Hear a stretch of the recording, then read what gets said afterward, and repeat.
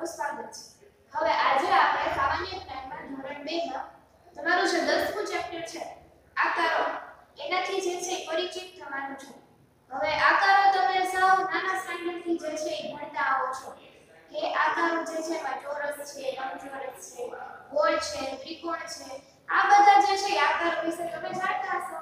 પણ આ બધા આકારો છે ને એને કહેવાય દ્વિપરિમાણીય આકાર. જો અહીંયા આ પેલી અને આ બીજી એવી રીતે બે પરિમાણ હોય. પણ આજે તમારે નવા પરિમાણ ધરાવતા આકારથી જે છે પરિચિત થવાનું છે. કે જેને કહેવાય ત્રિપરિમાણીય આકાર.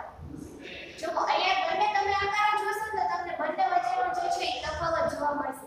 પહેલા આપણે આકારોને છે ને નામ બોલી લઈએ જો આ પહેલું જે છે એ ચોરસ છે, પછી છે એ લંબચોરસ છે, પછી જે છે ત્રિકોણ છે, પછી આ જે છે ગોળ છે, આ લંબગોળ છે અને આ અર્ધગોળ છે આ બધા આકારોથી તમે એકદમ પરિચિત છો હવે આ જે છે એ થોડા નવા છે તમારા હવે જો આ જે છે તમે આ ગોળ જુઓ અને અહીંયા જે છે એ ગોળો જુઓ બંનેમાં તમને જે છે એ કર્વ જોવા મળશે જો ગોળ એટલે કે એકદમ સપાટ જે છે એ આપણને મળે વર્તુળ જોવા મળે.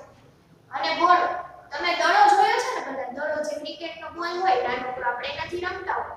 એ જે દડો છે, એ જે ઉદાહરણ છે ને, એ ગોળાનું ઉદાહરણ છે. બરાબર?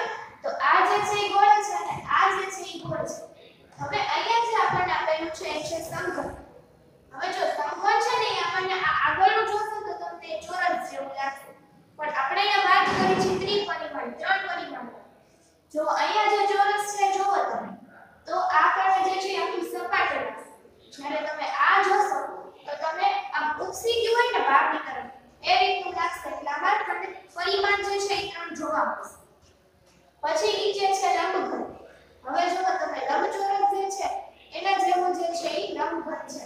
જો આ જે ચોરસ છે, અહીંયા જે છે એ લંબચોરસ છે. લંબચોરસ અને લંબઘન.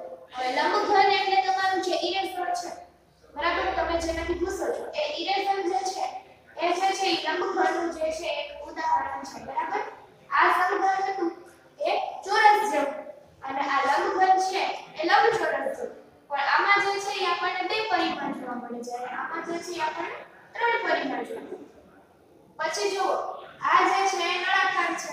બરાબર?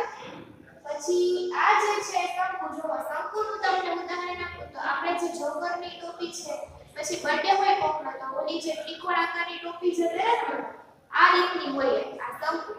આ જે જોકરની ટોપી છે, પછી બર્થડે માં આપણે જે ટોપી હોય, એ બધી ટોપી જે છે, એ શેના ઉદાહરણ છે? તો કે આ બધા જે છે, એ શંકુના ઉદાહરણ છે પછી જે છે અહીંયા આપણે ત્રિપરિમાણીય આકારમાં આપ્યું છે પ્રિઝમ હવે પ્રિઝમ અને એ જે જોઈએ તો ત્રિકોણ હવે ત્રિકોણને તમે જોશો ને પ્રિઝમને તમે જોશો તો આ બંને આકાર જે છે એ આપણને આગળની તરફથી સરખા લાગશે પણ જો પ્રિઝમ બીજી શું વસ્તુ છે કે જે પાછળની તરફમાં હજી એની પાછળ હજી બીજી સપાટી હોય આ રીતના, એ રીતે આપણને લાગે. એટલે આ જે છે એ એને પરિમાણ આપણને પાછળની તરફ જોવા મળે છે એટલે ત્રિકોણ બરાબર તો આપણે ફરીથી જોઈએ તો આ જે ચોરસ છે અને સમઘન છે એ બંને જે છે ઈ એકબીજાને મળતા હોય છે પણ બંનેમાં જે પરિમાણ જે છે એ આપણને પાછળની તરફ જે છે એ સપાટી હજી એક હોય થ્રી ડાયમેન્શન કે આપણે 3D 3D મૂવી જોવા જાવ છો ને જોયું હશે ઘણી વાર કે 3D મૂવીમાં કેમ આપણને આપણે જોતા હોય બધું આમ જાણે મૂવીમાંથી સ્ક્રીનમાંથી આપણી પાસે બધું બહાર આવતું હોય તેવું લાગે. એવી રીતે જો અહીંયા ચોરસ તમે જોશો તો તમને એવું નહીં લાગે. તમે સમઘન જોશો તો તમને એવું લાગશે કે સંઘર છે કે બહારની તરફ આવે છે. તો આ રીતે તમારે જે છે ઈ દ્વિપરિમાણીય અને ત્રિપરિમાણીય આકારોથી જે છે એ તમારે પરિચિત થવાનું